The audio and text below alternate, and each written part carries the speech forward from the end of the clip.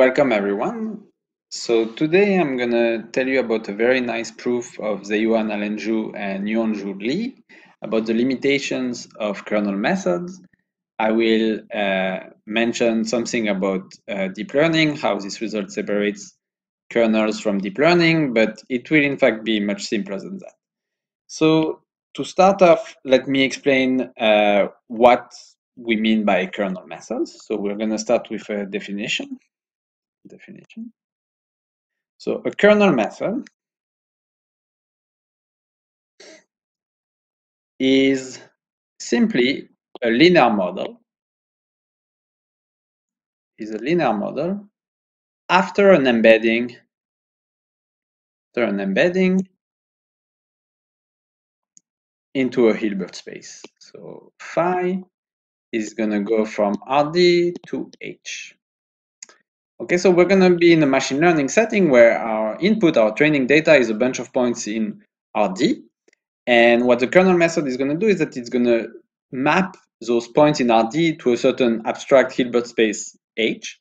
And then in that Hilbert space, it's doing a linear model. So let me say a bit more precisely what I mean. So uh, what I mean is that the method returns, it returns point f in the Hilbert space H so that the prediction, sorry about that, the prediction on a new point x, on a new input x, is going to be given by y so what is going to be y? y is going to be a linear function. So f is a linear function, but f is a linear function over h. So what I need to do is to first embed my input x, which is in RD, into h. So my output y is really f, you know, the inner product of f and phi of x in h. So this is my, my model, okay? I take an image, I map it through the mapping phi, and then in uh, the embedded space, I have a linear function. That's what is a kernel method. And what I'm going to say is that the method uses n samples if it, it chooses endpoints xi in RD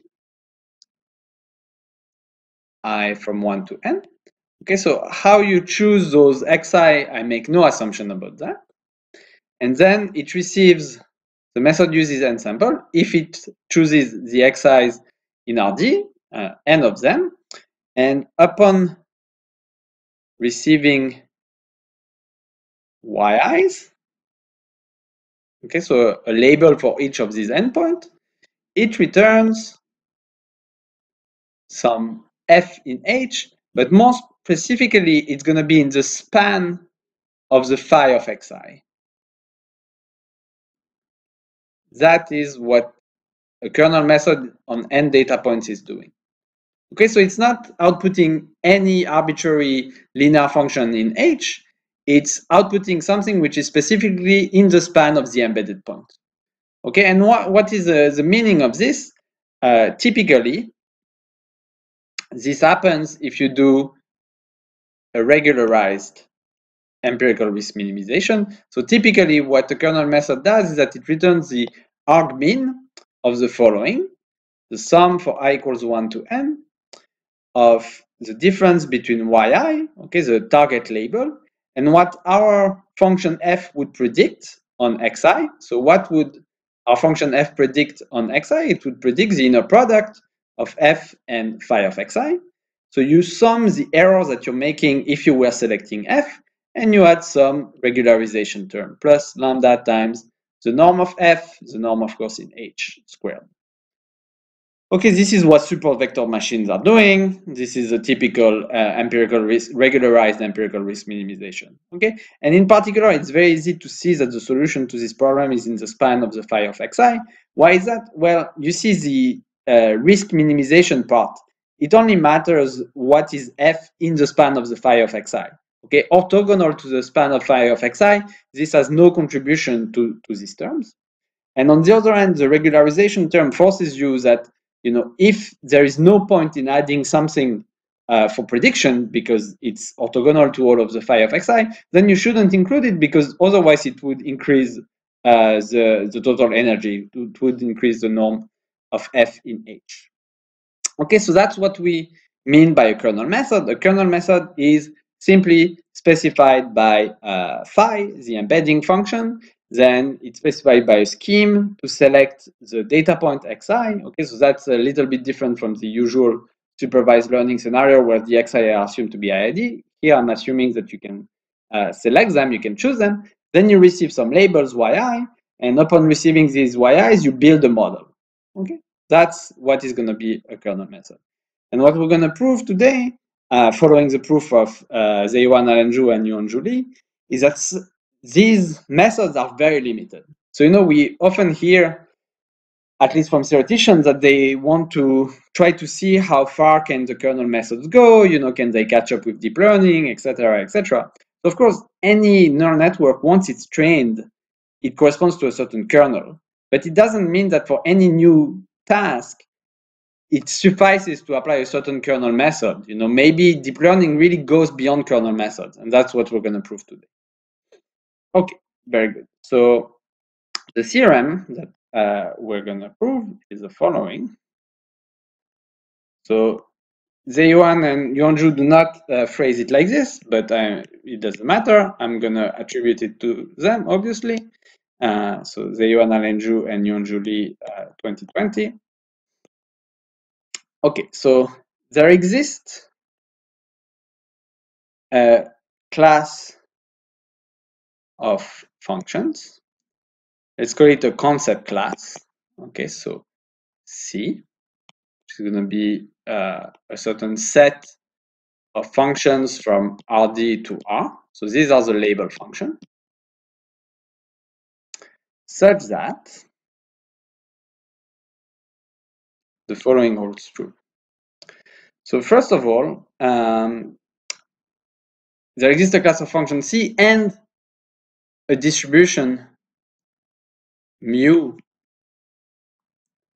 on RD, such that the following holds true. So first of all, kernel methods cannot get non-trivial accuracy on this problem. So what I mean is for any kernel method, so again, a kernel method, it's both an embedding, uh, an embedding, a way to choose the xi, and then a mapping from the labels, okay, yi's, which in this case would be labeled according to some target function c, to a function f in the span of the phi of xi. So for any kernel method, if the kernel method is good, meaning that for any concept in my concept class C, given yi equals c of xi. So notice in particular here, I'm assuming no noise. Okay, so the kernel method has access to a training set which is uh, perfectly labeled according to the uh, concept uh, C. So given y, i, it returns f.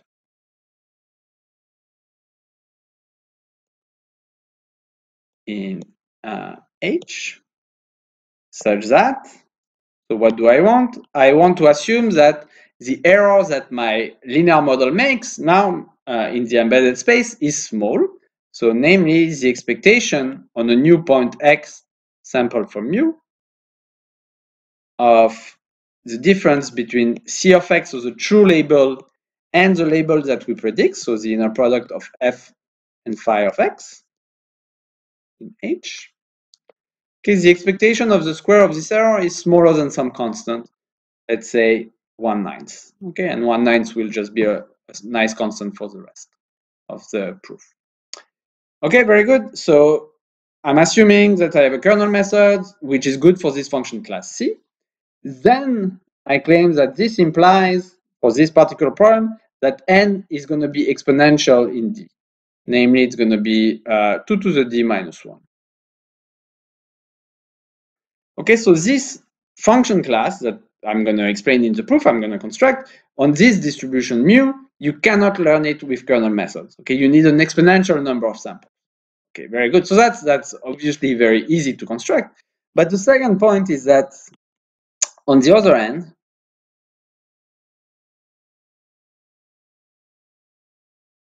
there exists a uh, simple, and I will explain what it is, a simple two-step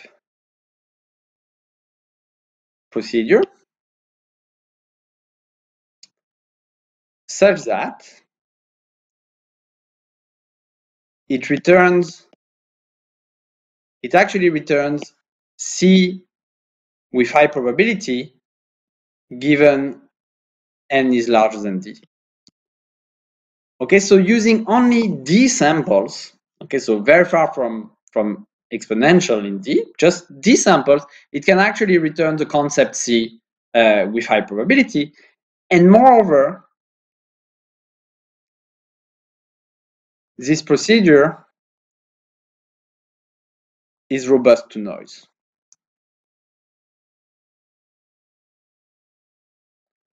Okay, so this is a very important point. Not only can I find this procedure that uh, using only a linear number of samples or a polynomial number of samples, it can identify the concept and, and thus have zero error.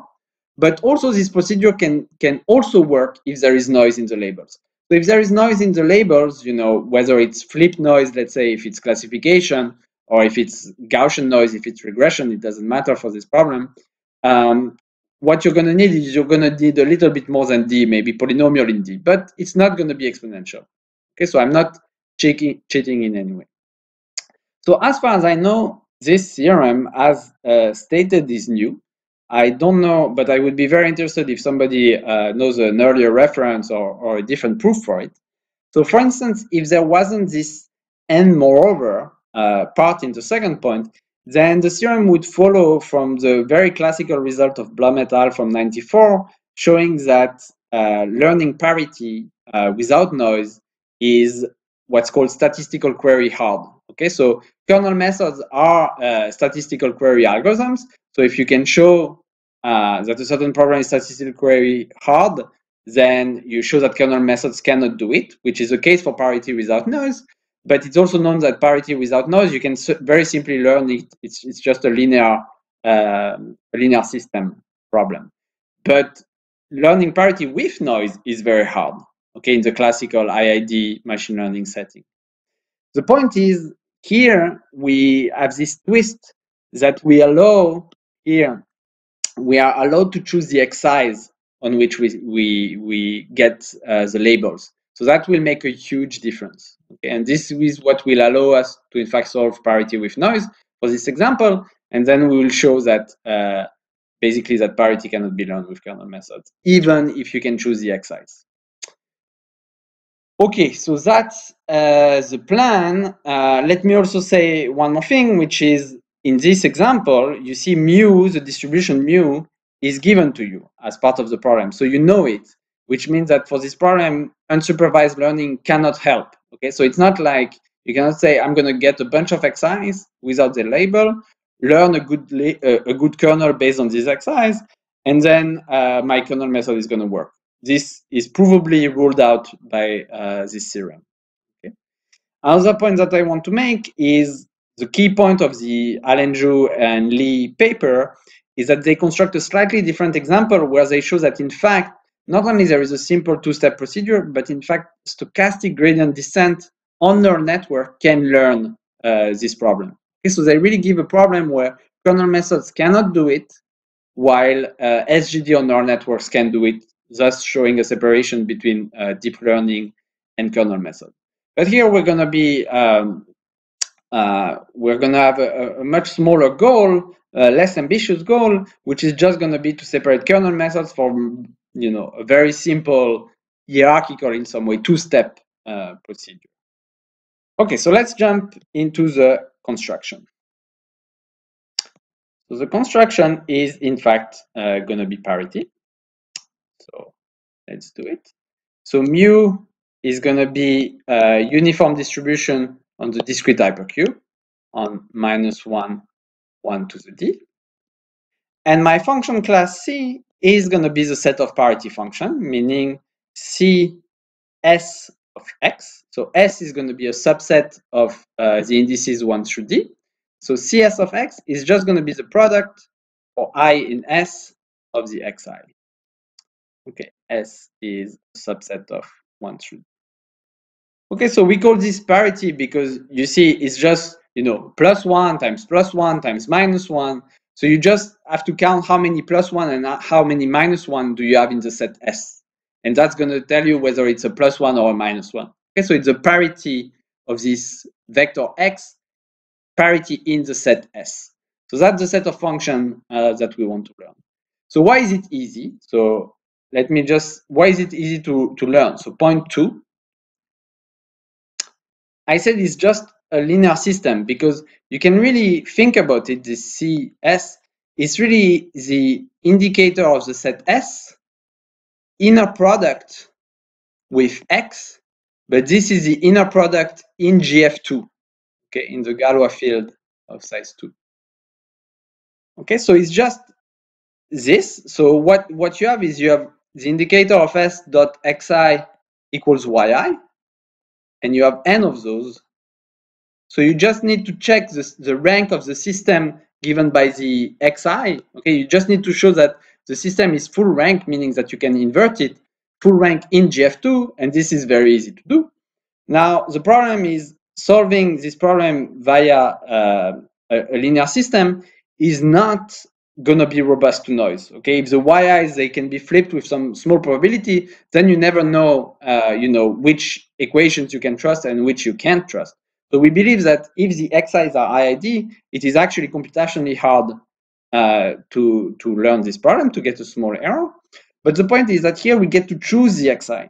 So what we can do is that we can just pick a basis or, or you know uh, an independent set in the hypercube and just repeat every every xi that we want to have many many times so we can just average out the noise that's that's really no problem so really point two is clear we are able to learn this by basically averaging and then solving a linear system. So that's the two step. First you average and then you you solve a linear system.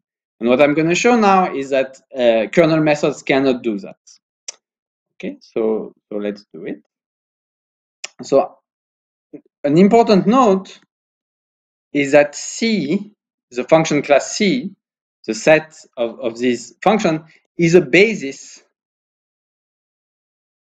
for the set of function f from the hypercube to the reals. Okay, why is that? Well, this set of function, it's a vector space, okay, of dimension 2 to the d, because for every you know point in the hypercube you assign a scalar. So this is a vector space of size 2 to the d. C is of size 2 to the d. So the only thing that I need to show is that it's, uh, uh, you know, uh, they are independent. And how do I prove that? So it's very simple. It's going to be uh, not a orthonormal basis actually for the inner product which is given by the distribution mu, meaning the expectation of the inner product. So what is the inner product? It's CS of x times cs prime of x. Okay, so this is the expectation when x is sampled from u. There is no prime here. This is either zero if s is not equal to s prime, and it's one if s is equal to s prime, meaning it's exactly an orthonormal system. So why is that? Uh, let's see. So if they are not equal, then it means that there is at least one coordinate which is present in one of them but not in the other one. So we, if we just integrate over that one coordinate, you know, sometimes it's going to be with plus one, half of the time it's going to be with plus one, half of the time it's going to be with minus one. So it's exactly going to cancel each, you know, it's going to cancel out and it's going to give me zero.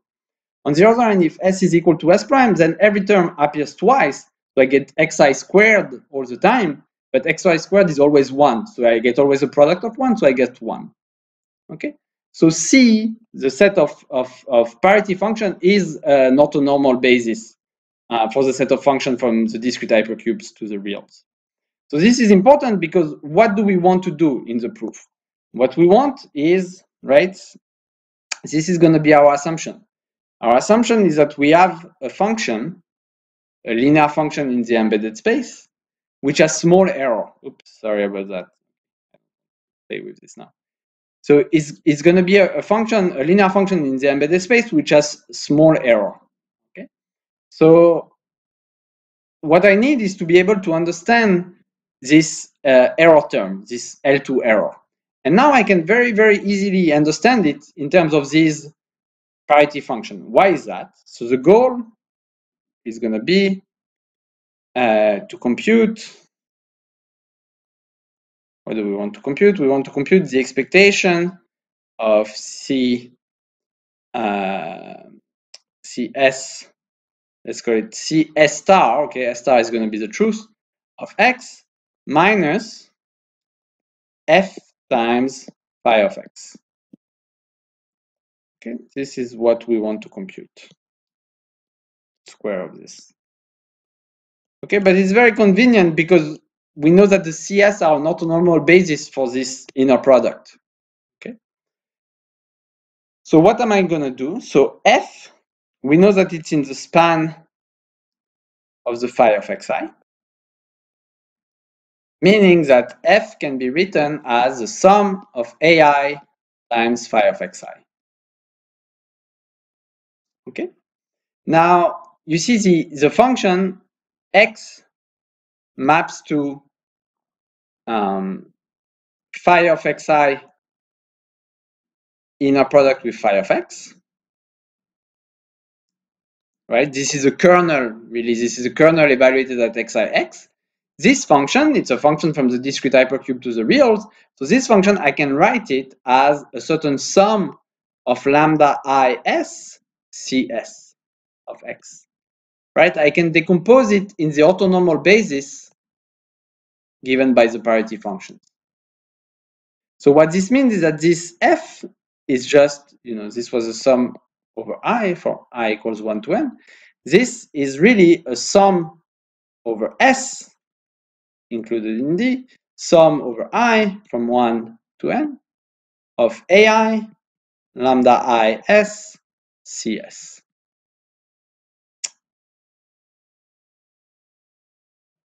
Um, what I mean, sorry about that, what I really mean is that f inner product with phi of x, this thing is equal to this. Okay, so now coming back to this thing, okay, my L2 error. So my L2 error now, I know that it's equal to the expectation when x is sampled from mu of what? Of c s star of x minus the sum over s, the sum over i, ai, lambda is, cs of x squared. Which just by decomposing, by, by opening up the square, this is gonna be one minus the sum over i of ai lambda i s star square.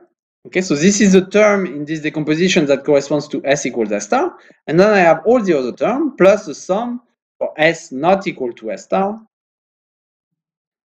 of the sum for i equals 1 to n of ai lambda i s squared. Okay, so this is what I have. This is a key identity.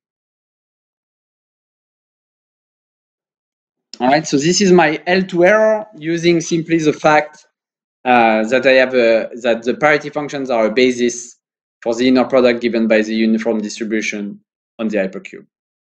Okay, so now let's equipped with this formula, let's prove uh, point, point one, sorry. So now proof of one. So remember, what is our assumption? Okay, so sorry, let me go back up. So our assumption is that we have fixed the kernel method, so we have fixed this embedding, and we fixed it so that for any concept, so for any parity, we can return a function which has small L2 error. Okay, so we can return a function meaning we can find those AI. So the assumption, so by assumption, for any S star, okay, which is the true uh, subset on which we're taking the parity, there exists AI star, okay, such that F, which is the sum of AI star phi of xi, has L2 error, maybe let's be L2 error smaller than one ninth. That's our assumption. Okay, sum for i equals one to n. And the L2 error, we just wrote it here. Okay, so we have two terms. If the sum of the two is smaller than one ninth, then both of them are smaller than one ninth. So what does it mean? So this implies that 1 minus the sum for i equals 1 to n of ai star lambda i s star square is smaller than 1 ninth and the sum for s not equal to s star. So the, the contribution from all of those terms which are not the true subset is also small. So the sum for i equals 1 to n of ai s star lambda is squared is also smaller than 1. And the question is, can we conclude from that, that's our goal, that n is larger than 2 to the d minus 1? Okay, that's that's what we want to prove. So all I'm going to do now is that I'm going to rewrite these two inequalities uh, using matrix notation. And then we will see that a certain rank argument is going to give us the lower bound. Okay, so let's let's do it. So notation. Why is going to be the matrix notation useful? Because you see this sum of AI star lambda IS you can view it as you know an entry in a matrix multiplication. So more precisely, let me denote lambda si. Okay, sorry about that. Lambda si. So this lambda, this is going to be a 2 to the d times n matrix. So the entry of this guy are going to be the lambda is. Okay, remember the lambda is are the coefficient in the decomposition of the kernel at the data points. Okay, so this is given by the function phi and the data point xi. And let me introduce the matrix A, which is going to be uh, n by 2 to the d. Okay, so the entry i, and let's say s star, this is going to be a i s star, which are the coefficients that my kernel method is finding to get low error. So you see sum for i equals 1 to n of ai s star lambda is is just the entry s s star of the product lambda times a. Okay, so let me define omega to be lambda times a.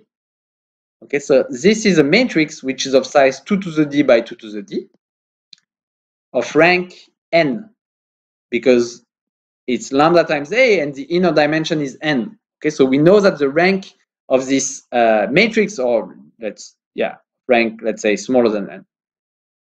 Okay. Very good. And now again, what is this term? This term is just omega, and let me see if I do it correctly. This is omega of S star. And what is this term? This term is just omega of S star S star. Okay, so this big matrix omega of size 2 to the d by 2 to the d, what do we know about it? We know, so we know that 1 minus omega s star s star squared is more than 1 ninth, and the sum for s not equal to s star of omega uh, let me just see, SS star doesn't really matter, squared, this is also smaller than 1 ninth. So we have this big matrix, and we know the diagonal entries here, diagonal, they are all larger than two-thirds. Okay? Because we know that the distance to 1 is smaller than 1 ninth square, so the distance to 1 is smaller than one third, so certainly omega S, S, S star S star is larger than two thirds. So we have this matrix where the diagonal elements are big. And what else do we know? We know, so okay, so this element is big, is larger than two thirds. And we know that the sum, you know, for instance, on this row of all these other terms, so the sum square, the sum of squares, squared entry of diagonal, this is smaller than uh, one ninth. Okay, so just to be clear, if it was the sum of the absolute value, okay, if it was the sum of those terms is actually smaller than uh, than the diagonal term, then this is called diagonal dominance. Okay, it would be a diagonally dominant matrix, and then we would know that if it, it's full rank. Okay, so without without this diagonal dominance would say omega is full rank which means the rank of omega would be equal to 2 to the d, okay, the size. But we know that the rank is smaller than n. We said it because we have, you know, a decomposition uh, uh, into a 2 to the d times n by times n by 2 to the d matrix. So this would show that n is larger than 2 to the d. Okay, and that's the end of it. This would this would complete the proof. So what we need is a kind of L2 version of diagonal dominance, where the diagonal entry is not larger than the sum of diagonal, but it's larger than the sum of the square of diagonal, and it's larger by a certain gap. Okay, so we need uh, a L2 type diagonal dominance. And this is also turns out to be true, you're not going to get full rank, but you're going to get that the rank is uh, a constant fraction of what it's possible. So let's let's see how to do it. So okay, so omega, I'm going to write it as the diagonal of omega. Okay, so all these terms on the diagonal which are larger than two thirds. Okay, so all entries larger than two thirds plus the rest, which I'm going to call omega prime. Okay, so this is off diagonal term.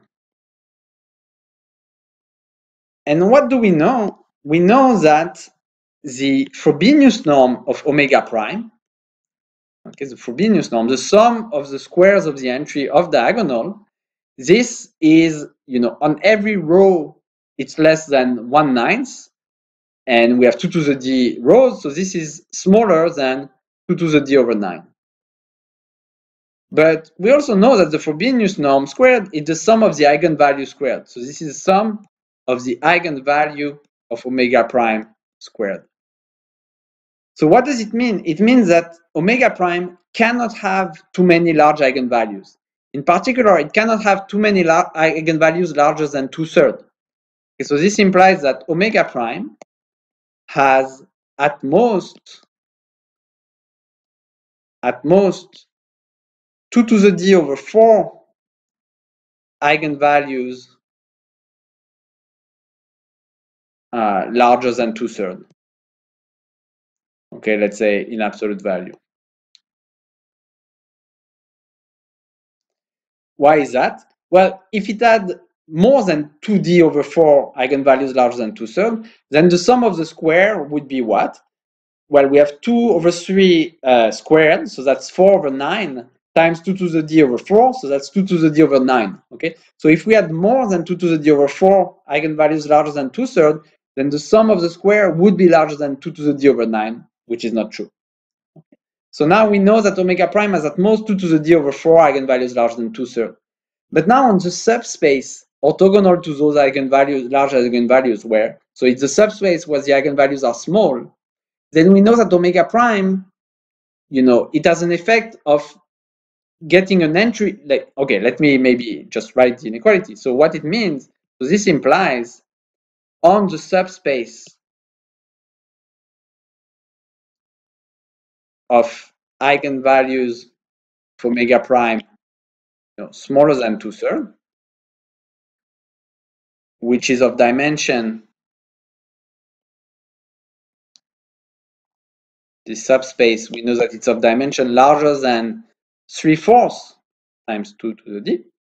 Okay, because there are at most 2 to the d over 4 uh, directions where uh, where the um, sorry there are at most 2 to the d over 4 directions where the eigenvalues are larger than 2 thirds. So on the subspace, which is of dimension at least 3 fourths times 2 to the d, where the eigenvalues are small, what do we have?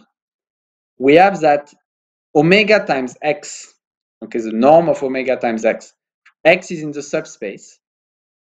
On the subspace, let's call it v. So x in v. What is this? This is uh, you know the norm of diag of omega times x plus omega prime times x.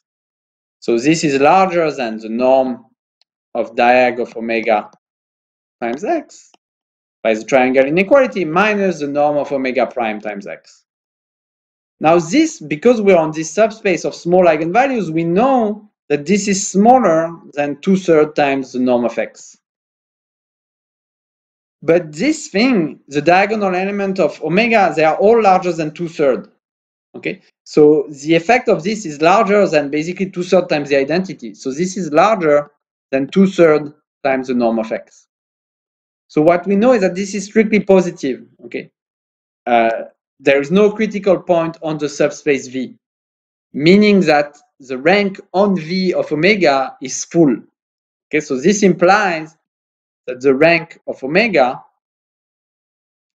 is at least 3 fourths times 2 to the d. Okay, so we don't get quite full rank, which would be 2 to the d, but we get a constant uh, fraction of the full rank, and this implies that n is larger than 3 fourths times 2 to the d, because the rank of omega was smaller than n, uh, given the decomposition in the definition of omega. Okay, and that, that concludes the proof.